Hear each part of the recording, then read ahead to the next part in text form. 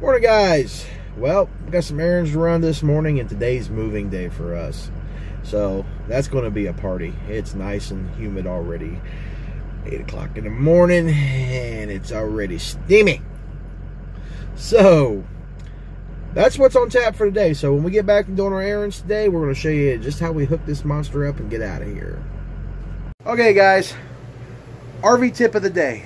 Something that full-time RVers who are not hooked up to full hookup should do. Especially if you want to let your wife go first taking a shower. Check the water before you get in. Get all soaked up, soap in your face, soap in your eyes, soap in your nether regions. Because then they have to bring cold water into you.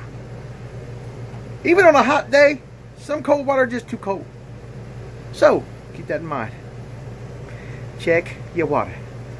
That's all. Miss Jill thinks that moving days will require alcohol. Right early, we're already here looking at alcohol. She may have a problem. Really? You realize it's very early in the morning, right? It's never too early. All right, so we're back from the store. All that good stuff, running a few errands. We had to go pick up some medicine and uh, a few groceries. That way we didn't have to do it later when we get to where we're going. So we've done that. So now back here at the campsite, going to uh, start cleaning up camp, of course. Clean up all the stuff out here. Uh, we're going to to do the whole thing of walking around the rig and doing the inspection on the rig. So when I start inspecting the rig before we get ready to leave, first thing I do is I come around here and I look at my pigtail. This is what supplies your electric to your camper. I look, make sure it doesn't have any fraying or anything like that on here, you know, where it's been rubbing or anything. I make sure that uh, my emergency brake thing here, in case you lose your trailer, make sure all that stuff's still in here so it's not making contact. That way it's not holding your brakes up on you, burn your brakes out.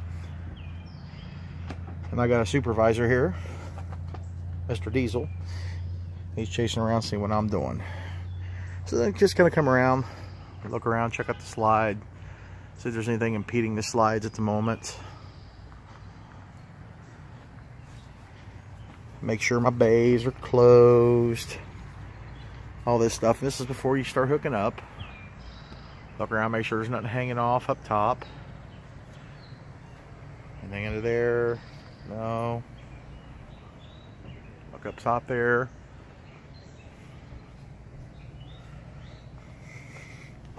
Now we'll do this again once we pull the slide back in, but I'm just going to get down here and kind of do a visual of the rims and tires here. Look if I see anything, you know, sticking right out that would uh, cause alarm at the moment. So far, nothing is like sticking out. It looks like it needs any immediate attention. But once we pull the slides in, we'll double check. People would turn off their propane and everything like that. But since we're full-time RVers, we have a refrigerator full of food. So we're not going to turn our propane or anything off because uh, we want to keep our groceries cold. So that's one step if you're not planning on, you know, having your refrigerator running. If you're just a weekend camper, it'd be fine to go ahead and turn everything off. As long as you don't have anything in the refrigerator, it's going to go bad. So, in addition to checking the camper over, just kind of come and do a once over of my tires on the tow rig. Make sure nothing looks like it's under inflated, which I will pull out the air pressure gauge and check, make sure all the tires are properly aired up.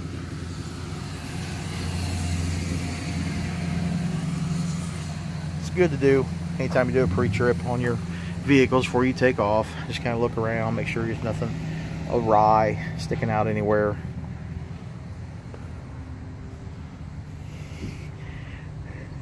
And the key thing to hooking up a fifth wheel, make sure you drop that tailgate. That way you don't take the tailgate, smash into this guy here, make a big mess here, and possibly tear it up here. As, you know, that's never a good thing. Everybody's got a job to do, and right now Jill's job is to kill the spiders.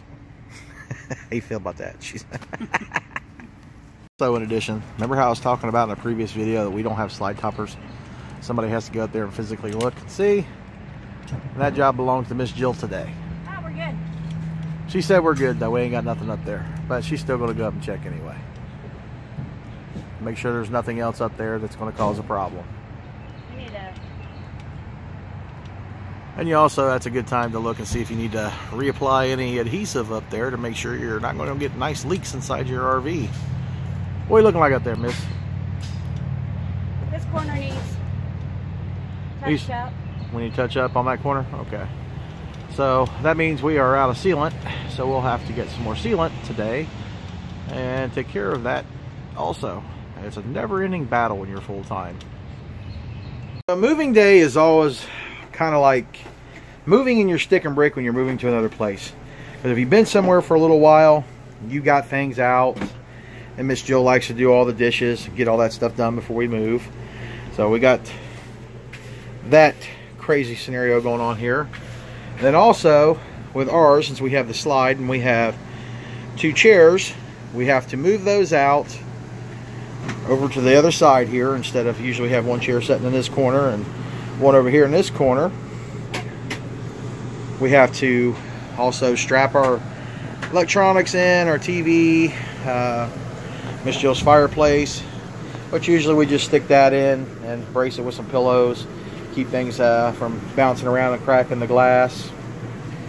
Then we also move Miss Jill's office to the couch. So we got monitors and everything underneath these pillows here. Keeps them from bouncing around, tearing those up. So, yeah, moving day, you kind of disassemble your camper inside, trying to get everything ready to go. Miss Jill come up with a little ingenious way to Store the dog food tell them why you decided to do that. so it doesn't spill. Exactly. But you know, good way not to just stick the plastic into a landfill. Right, Get to reuse it. It's from a restaurant where we had leftovers or something. I don't know, but um, Mr. Dog, he doesn't seem to mind that, but he's like, uh, "Lady, what are you doing with my bowl? That's my kibble." Um, We would do it me. with his water too, but he doesn't like water out of a plastic bowl, so he, we have to put it in the.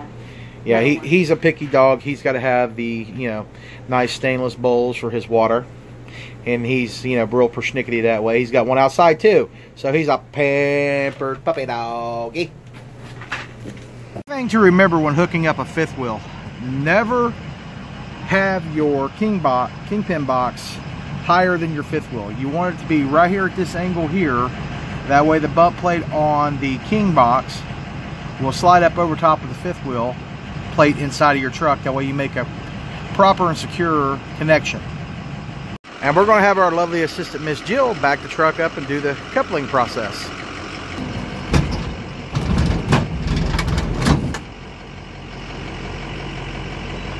Bingo, bingo, all hooked. Sure That you do have proper connection. You want to go in behind and make sure those jaws lock around that kingpin, like so. One other key thing to remember when hooking up your fifth wheel, you want to take your emergency breakaway and you want to make sure that's hooked to your pin. And you put the safety pin in here. Kind of hard to do with one hand, but you get the gist of it. Make sure all that stuff's together. Make sure that's all latched and complete.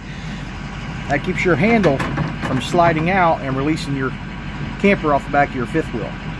Very important. Make sure you have that pin in place. That kingpin jaw is locked around your kingpin. And make sure to have your safety breakaway switch connected. Don't have this connected, you lose your trailer. Your trailer's to keep rolling and run into something, hurt somebody, you or somebody else. Process is to hook up your trailer connection Make sure it is secure, like mine is. We got the little lock on the backside of it. That holds it in place. One other key thing, once you are hooked up, make sure you lift your tailgate and put it back in the closed position. Because if not, first turn you make, you're gonna tear the tailgate off your truck, put a nice big hole in the front of your camper. We are hooked to the camper. We're gonna go ahead and take the weight off of the legs on the camper put all the weight on the truck you guys see the truck it'll start squatting here in a second there she goes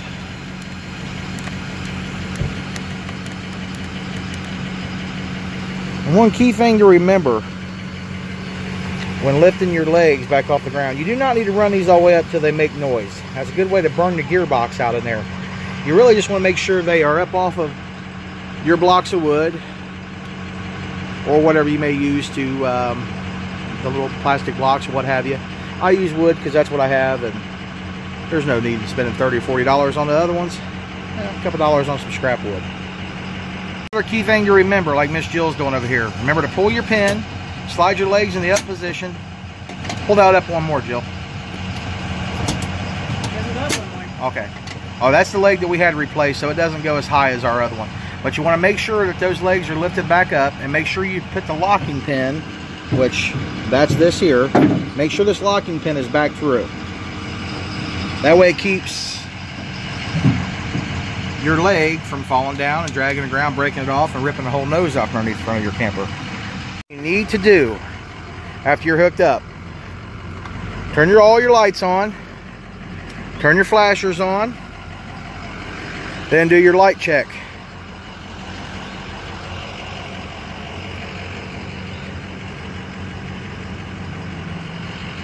Have lights running on the side of the camper.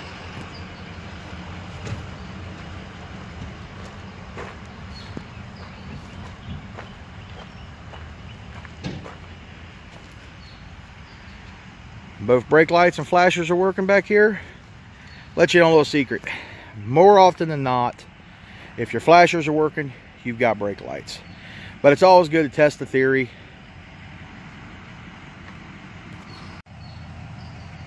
And see now the flashers are off, Miss Jill's applying the brake. We do have good working, functioning stop lights. It's always good to make sure that you've got your running lights working as well, so leave your headlights on when you do this process. We're off to the new campground, so we take a little leisure ride on the little two lane. Sure is a pretty day, just wish it wasn't so hot. That's the sucky part about it. But I'll take the heat over the freezing cold any day. That's why they made it central air conditioning. We're arriving at the new campground. Hmm. Long way back off the road here, but looks like it might be a nice place. We'll see. Now, see, this campground really should have thought this out. You see, they got all these trees. They are not trimmed out for people to come in with big rigs And that might take some points away from my liking. So we're at this little hidden campground outside of New Albany, Ohio, called Tree Haven. They got some trees. I don't know why they're called Tree Haven. But uh, quite a little campground. Uh, a lot of people who are here are seasonal. So not a lot of weekend campers, and they do monthlies and stuff like that. Don't know what the monthly prices are, but not a bad little campground. Pretty quiet. But, you know, I'd stay here again.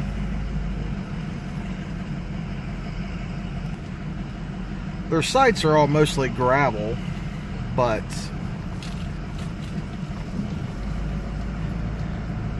so it rains real hard.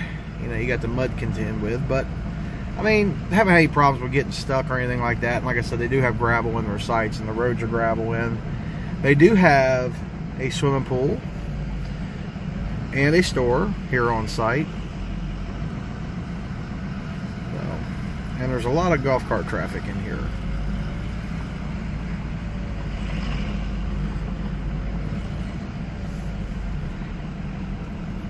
Think that's some sort of uh, like shelter house area or something like that. I'm not quite sure.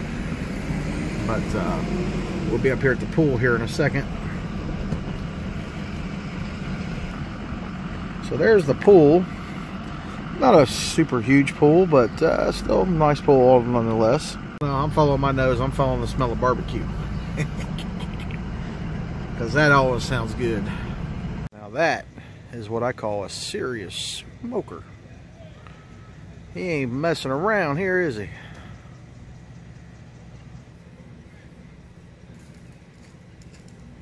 Guys, so I have seeked out the barbecue man. Like I said, I smelled it clear across the campground. Now I'm over here we found him. We're going to talk to this gentleman here and we're going to see what the process is and what he's got going on here smoking today. Because I'm telling you right now, standing right here, if you smell a vision, y'all damn should be hungry. I'll tell you that right now.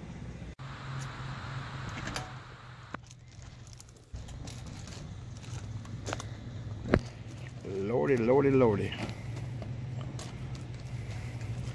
If I don't make you guys hungry, I don't know what will. Because I'll tell you right now, that smells good.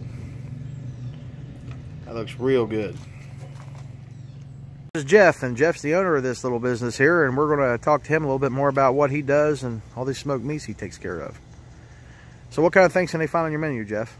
I do uh, pulled pork, brisket, whole chickens, spare ribs, baby back ribs, beef ribs, and uh, I cook my smoked baked beans in here. My green beans are cooked in here. Cornbread, coleslaw, potato salad, corn on the cob, smoked in the smoker. Hmm, good. Man, that's making me hungry just thinking about it. So, uh, also, you were telling me you were going to be opening a brick and mortar restaurant here. Yeah, I'm looking uh, in Westerville, Ohio, right by Hoover Reservoir on Gorsuch Road next to the Chalet Pizza, and another location in downtown Delaware here within the next couple of months. Awesome, awesome. So, uh, what was the name of your uh, business again? Whole Hog Barbecue Catering. Mm-hmm. And you got a phone number or website? Yep, 614-848-4HOG, 848-4464, wholehogbbbq.net. So you've seen a little bit about what Jeff does here, and you've seen all that good looking meat inside that smoker looking good, and all the stuff he's got on his menu items. If you guys are in this area, look him up. Uh, I think you do also do catering too, right? Yes, I do. So, whatever better way to have a big holiday function at a campground, especially if you end up at this campground, uh, get a hold of the Meat Man. We'll talk to you guys soon. Thanks for watching.